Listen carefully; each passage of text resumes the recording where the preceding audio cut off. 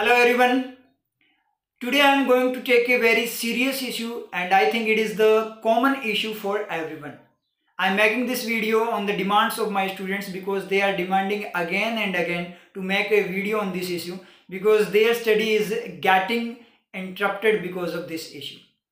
तो पिछली जो क्लासेस है जो लाइव क्लासेस अपनी चलती है उसके अंदर स्टूडेंट्स बार बार डिमांड कर रहे हैं सर प्लीज़ एक वीडियो बना दीजिए इस इश्यू के ऊपर क्योंकि हमारी स्टडी इंटरप्ट हो रही है, हम कॉन्सेंट्रेट नहीं कर पा रहे, हमें फ्रस्ट्रेशन आ रहा है, गुस्सा आ रहा है तो हमारी स्टडी बिल्कुल ख़राब हो रही है यहाँ पे। तो प्लीज़ सर एक हमें सॉल्यूशन दीजिए कि हम इस सिचुएशन से कैसे बाहर निकलें। और जो ये इश्यू जो स्टूडेंट्स का है, वो है रिलेटिव्स यानी रिश्तेदार। तो यहाँ से जो मैंने नाम लिया यहाँ पे रिश्तेदारों का तो मैक्सिमम लोगों के माइंड में पिक्चर बनने स्टार्ट हो गई होगी। उनके माइंड में अपने इश्यूज़ आने लग गए होंगे कि उनके साथ उनके रिश्तेदार क्या क्या करते हैं। तो यहाँ पे मैं आप लोगों को, जो स्टूडेंट्स मेरे स्टूडेंट्स ने जो मेरे साथ अपनी सिचुएशन शेयर की है, उन सिचुएशंस के अकॉर्डिंग उन सिचुएशंस को लेते हुए उसके साथ मैं आपको यहाँ पे सॉल्यूशन दूँगा कि आपको किस तरीके से उसको हैंडल करना है। अब यहाँ पे अपने बात करें तो टू कैटेगरीज यहाँ पे बन जाती है जो स्टूडेंट्स की अगर अपनी बात करें। मोस्टली तो बोल रहे हैं कि रिलेटिव्स और जो नेबर्स हैं, यानी रिश्तेदार और जो पड़ोसी हैं, उन्हीं के कारण प्रॉब्लम आ रही है। बार बार ताने दे रहे हैं तो हमारी स्टडी पे फोकस नहीं हो पा रहा। लेकिन कुछ एक स्टूडेंट्स ने ये भी इश्यू दिए कि सर, खुद के जो फैमिली मेंबर्स है, जो परिवार वाले पेरेंट्स वगैरह है, उनका बिहेव भी थोड़ा ओड हो चुका है। तो सर प्लीज़ उसके लिए सोल्यूशन दीजिए कि रिश्तेदारों को तो चलो कोई दिक्कत नहीं है, सर। जैसे सभी बोलते हैं कि इग्नोर कर दो इग्नोर कर दो इग्नोर कर दें। कोई दिक्कत वाली बात नहीं है। लेकिन खुद के फैमिली मेंबर्स को कैसे इग्नोर करें? तो खुद के फैमिली मेंबर्स को आपको इग्नोर करना भी नहीं होता। देखो एक चीज़ मैं आपको बताऊँ, जो रिलेटिव्स होते हैं, जो रिश्तेदार होते हैं, वो जो ये करतूतें करते हैं, वो क्या करते हैं? जेलसी के कारण करते हैं, वो आपकी ग्रोथ को नहीं देख पाते। लेकिन जो आपके पेरेंट्स या फैमिली मेंबर्स जो आपके हैं, वो कभी नहीं चाहते कि हमारा बच्चा कामयाब ना हो। वो हमेशा आपकी कामयाबी देखना चाहते हैं। तो उनका जो रीज़न है वो कुछ अलग रीज़न होता है, ठीक है, जो मैं आपको बाद में एक्सप्लेन करूँगा कि क्या क्या उनके रीजंस हो सकते हैं, वो क्यों ऐसा बिहेव करना स्टार्ट कर देते हैं। सर्कमस्टेंसेज ऐसी बन जाती है सिचुएशंस ऐसी बन जाती है, जिसके कारण वो ऐसा बिहेव उनका होता है। तो ये चीज़ें मैं आपको पहले रिश्तेदारों की बात करेंगे, उनको हैंडल करना सिखाऊँगा, फिर आपको बताऊँगा किस तरीके से आपको अपने फैमिली मेंबर्स की जो थिंकिंग है, उसको चेंज करना है, उनको रियलिटी बतानी है और किस तरीके से उनको मैनेज करना है। क्योंकि वो गलत नहीं होते कभी भी, ठीक है? तो पहले अपने बात कर लेते हैं जो मोस्ट कॉमन आपका फेवरेट ठीक है, रिश्तेदारों की। तो यहाँ पे अपने बात करें तो पहले मैं आपको बता दूँ, जो रिश्तेदार होते हैं, वो रिश्तेदार होते हैं, ठीक है? ये नाम ही ऐसा है। तो रिश्तेदार जो होते हैं, आपको ऐसे घबराने की ज़रूरत नहीं है, टेंशन लेने की ज़रूरत नहीं है कि हमारे रिश्तेदार हमारे साथ ऐसा बिहेव क्यों करते हैं। क्योंकि जो रिश्तेदार की जो ये फितरत होती है, वो आपके लिए नहीं, वो कॉमन फितरत है। सदियों से चली आ रही है ये। ये हर किसी के जो रिश्तेदार हैं, वो उसी के साथ ऐसा ही बिहेव करते हैं, चाहे वो व्यक्ति कितना ही महान हो। अगर एग्ज़ाम्पल के फॉर्म में मैं बात करूँ तो आई थिंक कलाम जी जो हैं, जो इतने महान हैं, उनके रिश्तेदार भी जो है, वो ऐसे ही होंगे। तो इसके लिए आपको टेंशन ऑन करने की कोई ज़रूरत नहीं है। अब बात आती है स्टूडेंट्स बोलते हैं कि, सर, इनकी थिंकिंग को कैसे चेंज करें रिश्तेदारों की? तो देखो, उनकी जो रिश्तेदार पड़ोसी है, उनकी थिंकिंग आप चेंज नहीं कर सकते। इनको वरदान मिला होता है सीरियसली तो आप इनकी थिंकिंग को बिल्कुल भी चेंज नहीं कर सकते। आपको अगर सक्सेस होना है तो अपना वे ऑफ़ थिंकिंग चेंज करना पड़ेगा। और वो मैं बताऊँगा आपको अपना वे ऑफ़ थिंकिंग कैसे चेंज करना है सॉल्यूशन की फॉर्म में। देखो, एक चीज़ ध्यान रखना, एक कुत्ता है, मान लो तो कुत्ता जो होता है, वो क्या होता है, मोहल्ले के अंदर भूंगता है। ये प्रैक्टिकल भी देखा होगा आप लोगों ने। पूरे मोहल्ले वालों की वो नींद आराम करता है, पूरी रात नींद आराम कर देता है वो, ठीक है? चैन से सोने नहीं देता। तो मोहल्ले वाले क्या करते हैं, उसको भगाने की कोशिश करते हैं, उसके पीछे भागते हैं, पत्थर मारते हैं कैसे भी करके उसको भगाने की कोशिश करते हैं। तो भी वो कुत्ता भागते भागते भी भोंगता है। चुप नहीं होता वो। और जब रिश्तेदार रिश्तेदार क्या सॉरी जो मोहल्ले वाले हैं, वो वापस आकर अगर सो जाए आराम से, चैन से तो वो वापस वही कुत्ता सेम वापस आकर फिर से भोंकना स्टार्ट कर देता है। तो क्या करोगे आप लोग? उस कुत्ते के साथ में उसके सामने भोंकना स्टार्ट कर दोगे?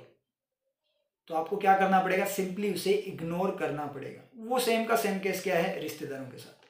अब स्टूडेंट्स बोलते हैं, सर इग्नोर तो करते हैं, लेकिन कई बार अति हो जाती है आउट ऑफ़ लिमिट हो जाता है। सर इग्नोर अब बोलते हैं कि इग्नोर करो इग्नोर सभी बोलते हैं इग्नोर करो। लेकिन सर, ये बोलने में अच्छा लगता है, लेकिन रियल में सर, बहुत ज़्यादा प्रॉब्लम बहुत ज़्यादा फ्रस्ट्रेशन बहुत ज़्यादा गुस्सा आता है। तो उसका भी मेथड होता है। कैसे उसको डील करना है, वो चीज़ भी मैं आपको बताऊँगा। तो यहाँ पे अपने रिश्तेदारों की बात करें तो अपने टू फ़ेज़ में लेकर चलेंगे।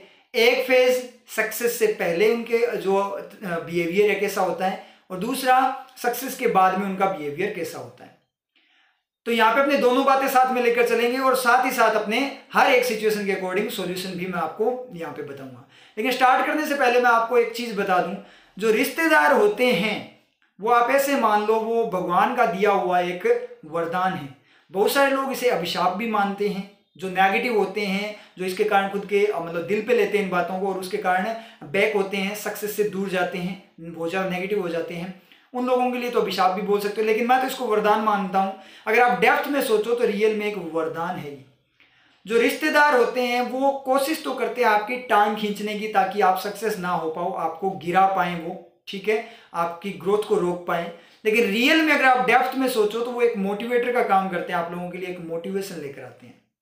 देखो, कई बार क्या होता है कि अपने को टारगेट नहीं मिल पाता। मैक्सिमम होता है कि कई बार अपने को टारगेट की लाइफ में क्या करना है? कई बार आलस भी आ जाता है कि अब लाइफ में क्या करें? नॉर्मल चल रही है, खुशियाँ आ रही है। मतलब वो थोड़े टाइम की टेम्प्रेरी खुशियाँ हैं। ठीक है? थोड़ा कुछ हासिल कर लिया अपने तो अपने उसमें खुश हो जाते हैं। लेकिन थोड़े टाइम बाद अपने को बहुत टाइम बाद रियलाइज़ होता है कि अपने कुछ किया नहीं अपनों ने। तो उस थोड़ी सी, छोटी सी खुशी में अपने खुश हो जाते हैं। उस पॉइंट पे रिलेटिव बड़े काम आते हैं, क्योंकि वहाँ पे आपको कोई टारगेट नहीं दिखता तो ये आपको एक टारगेट देते हैं। ये क्या करते हैं? आपकी टांग खींचते हैं, आपकी बुराई करते हैं। तो आपको एक टारगेट मिलता है क्या कि इसको कुछ ना कुछ करके दिखाना है। तो इस तरीके से वो आपके लिए मोटिवेशन का काम करते हैं, अगर आप डेप्थ में सोचो तो। नेगेटिव हो तो आप खुद खुद को, खुद का नुकसान करोगे और उसमें वो सक्सेस भी हो जाते हैं। जो उनका रियल में जो पर्पज था वो उनका फुलफिल हो जाता है। लेकिन आप अगर डेप्थ में जाकर इसको पॉजिटिव वे में सोचो तो वो आपके लिए एक पॉजिटिविटी का काम करते हैं। समझ में आई चीज़? तो इस तरीके से वो क्या करते हैं? वर्क करते हैं। यहाँ पे अब मैं सिचुएशंस की बात करूँ, जो स्टूडेंट्स ने मेरे साथ शेयर किए है, उसके अकॉर्डिंग मैं आपको बताऊँ, उसके साथ ही सोल्यूशन दूँगा। तो क्या करते हैं कि रिलेटिव्स और जो ये आपके पड़ोसी वगैरह होते हैं, वो घर पे आते हैं आपके पेरेंट्स के पास में। और आकर बोलते हैं कि आपके बेटे या बेटी का सिलेक्शन हो गया तो वो बोलेंगे, नहीं हुआ। अभी तक नहीं हुआ। बोलेंगे हाँ नहीं हुआ। तो बोलेंगे कि, भाई, फिर सिलेक्शन हो क्यों नहीं रहा? इतने टाइम में तो कितना टाइम तो हो गया आपके बेटे को या बेटी को तैयारी करते हुए? तो आप बोलोगे भाई स्टडी तो पूरे दिन करते हैं, पढ़ते तो पूरे दिन है, पता नहीं सिलेक्शन क्यों नहीं हो रहा? तो वो बोलेंगे, एक चीज़ आपको बताएँ हम। प्लीज़ बुरा मत मानना इस बात का। आपको विश्वास है क्या? रियल में आपको पता आपका बेटा या बेटी जो है वो स्टडी कर कर भी रहे हैं क्या? कहीं ऐसा तो नहीं है आपको बेवकूफ़ बना रहे हैं। हाँ मोस्टली पेरेंट्स मतलब इस बात को मतलब इग्नोर कर देते हैं, लेकिन कई बार क्या होता है कि जब ज़्यादा टाइम हो जाए तो क्या होता है कि वो इस बात को दिल पे भी ले लेते हैं और थोड़ा मतलब सोचते भी उसमें कि कहीं ऐसा होता ना हो। इस तरीके से ये चीज़ भी हो जाती है। और एक चीज़ और होती है ये, क्या होता है कि वो जो रिलेटिव आपके होते हैं वो टेढ़े टेढ़े ऐसे देखते हैं कि आप वहाँ हो या नहीं। होते हो तभी वो ज़्यादातर बात करते हैं। आप उनको पता लगेगा कमरे में आप पढ़ाई कर रहे हो तब वो ऐसे धीरे धीरे क्या करेंगे, आपके परिवार वालों से बातें करेंगे थोड़ा सा तेज भी बोलेंगे उसके साथ में ताकि आपको सुनाई दे। और आप क्या करते हो, वहाँ पे जैसे मान लीजिए पेपर वगैरह कर रहे हो मॉक टेस्ट वगैरह लगा रहे हो, आपका मतलब लगा तो मॉक टेस्ट रहे हो, लेकिन कान आपके उस साइड होते हैं, क्योंकि जब ये ऑब्वियस सी बात है किसी पर्सन की अगर आप कोई बात करेगा तो उसका ध्यान उस साइड ही जाएगा। तो आपका ध्यान पूरा का पूरा वहाँ पे रहता है। और जैसे वो ऐसी बातें करते हैं तो आपके माइंड में आता है गुस्सा। तो कई तो ऐसे डीट होते हैं, वो क्या करते हैं कि गुस्से गुस्से पढ़ना स्टार्ट करते हैं। अब मैं ना पूरा तगड़े वाला पढ़ूँगा, अब इनको औकात दिखाऊँगा। वो तो ठीक है, अच्छी चीज़ है। लेकिन मोस्टली के क्या होता है कि गुस्सा आता है फ्रस्ट्रेशन आता है, दिमाग वहाँ पे फिर डाइवर्ट हो जाता है पेपर में ध्यान नहीं लगता, फिर वो उसको क्या करते हैं बंद कर देते हैं कि यार छोड़ नहीं पड़ेंगे। दिमाग खराब कर दिया। फिर ये जो चीज़ होती है, वो कम से कम आपके दो तीन दिन हो सकता है ज़्यादा भी खराब कर देती है ये चीज़। और आपको पता है, इस कंपटीशन के टाइम में अपने लिए एक एक मिनट भी बहुत ज़्यादा कीमती है। तो मतलब वो अपना काम वहाँ पे कर गया, वो सक्सेस हो गया। इस पॉइंट पे आपको क्या करना है, आपको क्या सोचना है सोल्यूशन की फॉर्म में मैं बताऊँ तो। आपको ये सोचना है कि इसको कुछ ना कुछ करके दिखाना है। और आपको हंसना है अंदर से, हंसना है कि यार इसको ये नहीं पता कि मतलब कल को मैं क्या करने वाला हूँ, क्या धमाका करने वाला हूँ। वो धमाका इनको नहीं पता, मन में खुश होना कॉन्फिडेंस होना चाहिए खुद के ऊपर आपको, ठीक है? मन में आपको खुश होना है, हंसना है कि अब मैं इतना तगड़े वाला धमाका करूँगा, इनका जीना आराम हो जाएगा। फिर आपको ये सोचना है कि कितने टाइम की बातें आत्मा को शांति मिल रही है इनकी? आत्मा को शांति ले लेने दे। ज़्यादा से ज़्यादा छः महीने, एक साल के लिए आत्मा को शांति मिलेगी। बाद में झटका तो इनको तगड़े वाला लगना ही लगना है। हालत तो इनकी खराब हो ही जानी है। इस तरीके से आपको क्या करना है? वहाँ पे सोचना है और खुद को क्या करना है? पॉजिटिव करना है। और माइंड में टारगेट रहना चाहिए कि ऐसा धमाका करूँगा कि इनकी आँखें फटी की फटी रह जाएगी। इस तरीके से आपको सोचना समझ में आप लोगों के? और जब क्या होता है कि आप सक्सेस हो जाते हो स्टूडेंट्स की फॉर्म में अगर आपकी जॉब लग जाती है, उसके बाद में वो सेम के सेम जो रिलेटिव वो क्या करते हैं, उनका वे ऑफ़ थिंकिंग क्या हो जाता है change way of speaking thinking change नहीं होता. सॉरी वे ऑफ़ स्पीकिंग उनका क्या हो जाता है चेंज हो जाता है. मतलब बिल्कुल अलग वे में बोलना वो स्टार्ट कर देते हैं. जॉब से पहले वो आपको भी ताने देंगे, क्या? कि जॉब नहीं लगी अब तक. क्यों फालतू में टाइम वेस्ट कर रहा है? क्यों घर वालों के पैसे बर्बाद, कोई प्राइवेट जॉब पकड़ ले? कोई छोटी मोटी कोई पाँच दस हज़ार मिल जाएँगे, काम चल जाएगा चल जाएगा तेरा अच्छे से। क्यों टाइम अपना ख़राब कर रहा है? क्यों खुद को खोटी कर रहा है? तो इस तरीके से वो आपको बोल रहे हैं, वो आपको बहुत ज़्यादा दिल पे लगती है। और ज़्यादा दिल पे तब लगती है जब किसी फ़ंक्शन वगैरह में सबके सामने बाई चांस बोल दे तो हालत और भी, क्योंकि कई इतने भी नीच होते हैं, वो कुछ भी कर सकते हैं, ठीक है? तो वो क्या करता है, फिर आपके दिल पे लगती है। और जैसे ही आपकी जॉब लग जाती है तो वो क्या बोलते हैं? पहले वो ये बोलते थे कि जॉब लगना इतना ईजी नहीं होता। पहले देखा है क्या खुद को? मतलब ये बंदा जॉब लग जाए, ये लग जाएगी जॉब मतलब लोकल लैंग्वेज में बोले, इसका डोर है क्या जॉब लगने का? इस तरीके से वो क्या करते हैं, बात करते हैं। और जिस दिन जॉब लग जाती है, उसके बाद वही बंदे बोलते हैं सेम की सेम वर्डिंग कि पेपर जो फाइट है करना या जॉब के वगैरह के जो एग्ज़ाम है गवर्नमेंट एग्ज़ाम है, उनको फाइट करना इतना इजी नहीं होता, लेकिन ये बंदा था जो सिलेक्शन ले गया। हर कोई ऐसा नहीं कर सकता। यही था जो ये मतलब सिलेक्ट हो गया। और कोई होता तो सिलेक्ट नहीं हो पाता। इसका तो हमें बचपन से ही पता था। बड़ा ही टैलेंटेड था सीरियसली हमेशा से टैलेंटेड मैं, हमने, हमेशा ही बोला था, हम सबको ही बोलते थे कि ये बंदा है ना, एक ना एक दिन है ना, ऐसा करके जाएगा, दुनिया देखती रह जाएगी, लोग देखते रह जाएँगे। मतलब खुद की फीलिंग ज़ाहिर कर रहे हैं कि हम देखते रह गए, ये तो कर गया। समझ? इस तरीके से होता है। मतलब चापलूसी स्टार्ट आपकी चापलूसी करेंगे। हाँ पीठ पीछे आपकी बुराई चलेगी।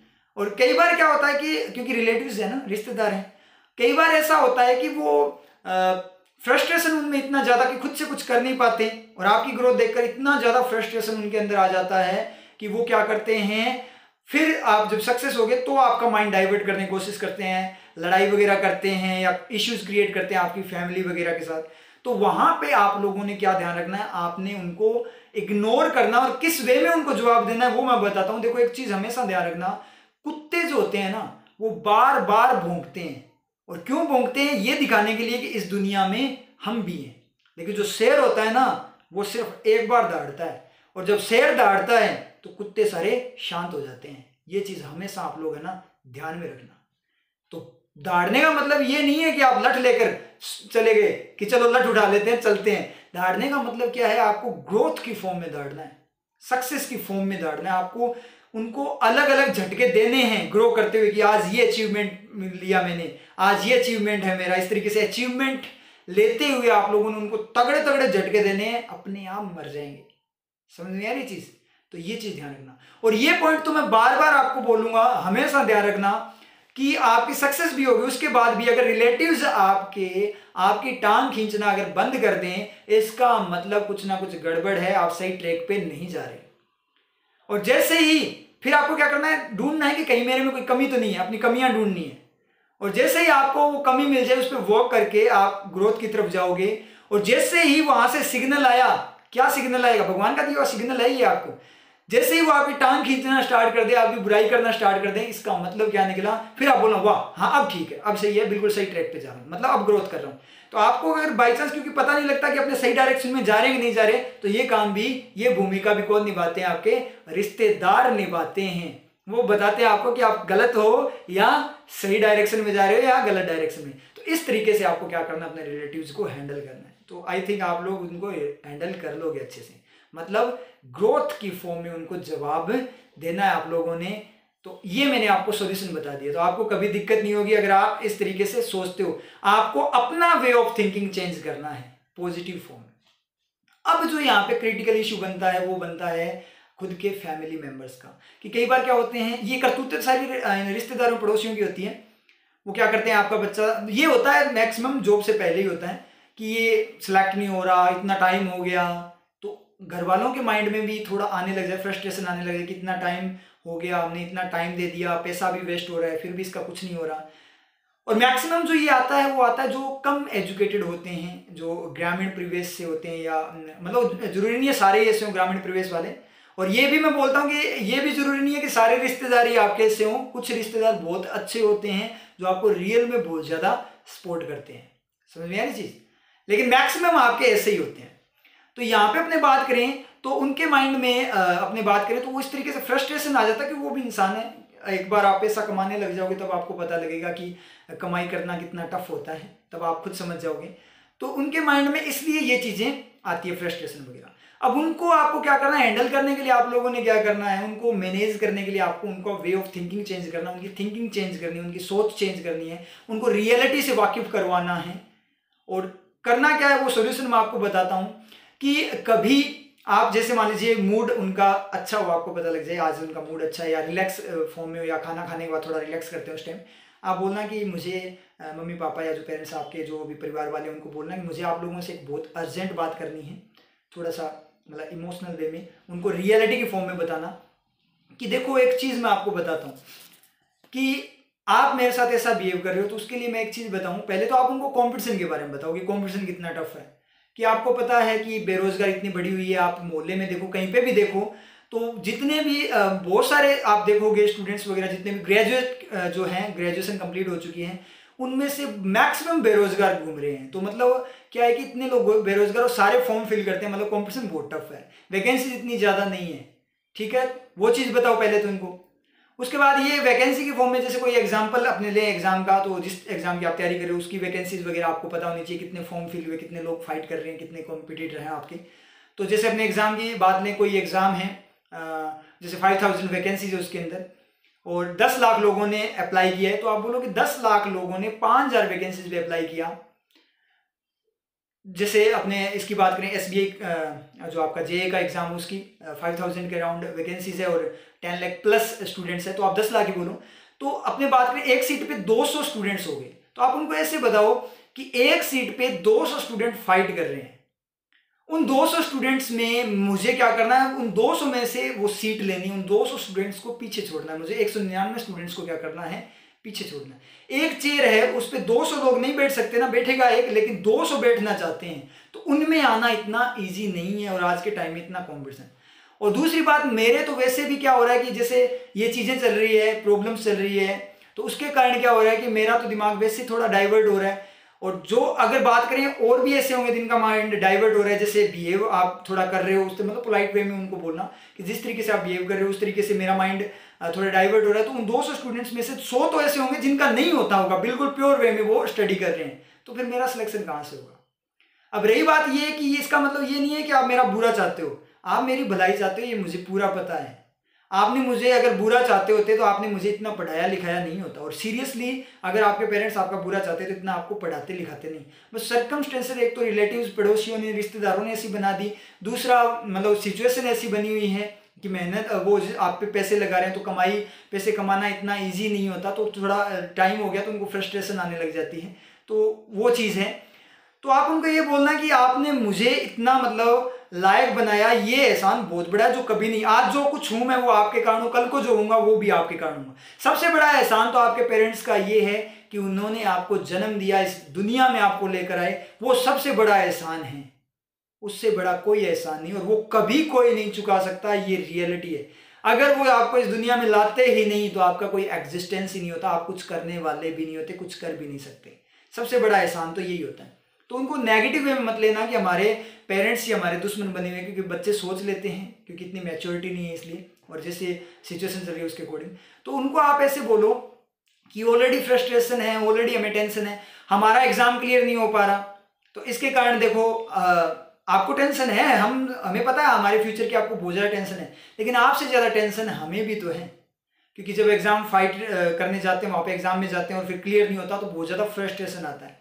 लेकिन उस फ्रस्ट्रेशन उस नेगेटिविटी को हम एक ही तरीके से पॉजिटिविटी में कन्वर्ट करते हैं। आपको बोलना है अपने पेरेंट्स को ये चीज़। कैसे कन्वर्ट करते हैं? हम सिर्फ़ आपको देखकर आपको देखकर एक मोटिवेशन लेते हैं, आपको अपना मोटिवेशन मानते हैं, आपके चेहरे को देखकर। हम ये सोचते हैं कि हमारे पेरेंट्स के लिए हमें कुछ करना है, इनको समाज में रेस्पेक्ट दिलवानी है। क्योंकि कल को मेरा सिलेक्शन आप सोच कर देखो, कल को मेरा सिलेक्शन हो जाए। तो सबसे ज़्यादा रेस्पेक्ट आपकी होगी। रिलेटिव्स रिलेशन में आपकी सबसे ज़्यादा रेस्पेक्ट पड़ोसी आपकी रेस्पेक्ट करेंगे। मेरी बड़ाई करेंगे तो उससे आपकी बड़ाई होगी, आपका सीना चौड़ा होगा, ठीक है? तो वो चीज़ है, आप सोच कर देखो। और अगर नहीं हुआ सिलेक्शन तो उसके बाद में सर्वाइवल भी नहीं हो पाएगा आगे आने वाले टाइम में। मतलब अपना ही लॉस है, अपने पूरे परिवार का लॉस है। और सक्सेस हुए तो अपना सबका क्या है, अपनी सबकी ग्रोथ है। मतलब आपको रेस्पेक्ट मुझे रेस्पेक्ट हर किसी को अपनी पूरी फैमिली को रेस्पेक्ट मिलेगी। तो कितना प्लस पॉइंट है। तो इस वे में मैं सोच कर कि मैं आप लोगों को कुछ आप लोगों के लिए करूँ। मैं नेगेटिव होता हूँ, कई बार मेरे माइंड में आता है क्विट कर दे, छोड़ दे पढ़ाई वगैरह, कोई मतलब नहीं है, कुछ होना तो है नहीं। कोई प्राइवेट जॉब कर लिया कुछ भी कर ले छोटा मोटा काम कर ले। लेकिन मैं फिर से शुरू हो जाता हूँ क्या करके आप लोगों के चेहरे को देखकर कि इनके लिए मुझे कुछ ना कुछ करना है। तो मेरे लिए सबसे बड़ा मोटिवेशन आप लोग हो सबसे बड़ा सहारा आप हो जो मुझे हर बार चार्ज करते हो। बिना बोले चार्ज करते हो आप लोग, क्योंकि आपका चेहरा देखकर मैं चार्ज होता हूँ। और जब आप लोग ही मेरा साथ छोड़ दोगे और आप लोग मेरे साथ ऐसा करने लग जाओगे तो फिर तो मैं कहीं का नहीं रहा। जो मेरा मोटिवेशन है वो ही नहीं रहा। तो फिर मैं क्या रहा? मेरा क्या होगा? मैं तो खत्म हो जाऊँगा। फिर कोई मतलब ही नहीं है। फिर मैं कुछ नहीं कर सकता। चाहे मैं कितना ही आ, मुझे चीज़ें आती हूँ मैं कभी सिलेक्शन नहीं ले पाऊँगा। मुझे कुछ नहीं चाहिए। मुझे सिर्फ़ आप लोगों का सपोर्ट चाहिए। आप लोग मुझे सपोर्ट कर लो। आप लोग मेरे साथ रहो। मैं पूरी दुनिया जीत सकता हूँ। ये मेरे अंदर कॉन्फिडेंस है। अगर आप लोग मेरे साथ हो और अगर आप लोग मेरे साथ हो, साथ नहीं हो तो मैं कुछ भी नहीं कर सकता, कुछ भी। छोटे से छोटा काम भी मैं नहीं कर सकता। और अगर आप साथ हो तो मैं आपको एक दिन आउटपुट देकर रहूँगा, एक शानदार वाली ग्रोथ सक्सेस लेकर आऊँगा। अगर आप लोगों का साथ है। बिना आपके मैं कुछ नहीं हूँ। इतना अपने पेरेंट्स को बोल देना। हंड्रेड परसेंट गारंटी है, किसी के कोई भी ऐसा पेरेंट नहीं होगा जो मतलब अपने बच्चों के लिए इस बात, इन बातों को सुनकर इमोशनल ना हो। समझ गए जी? और ये रियलिटी भी है। तो आप बोलना उनको कि हम आपको दिन रात पढ़ते हुए दिखाई देते ही, नहीं देखते। यहाँ पे आवारा तो नहीं घूम रहे ना?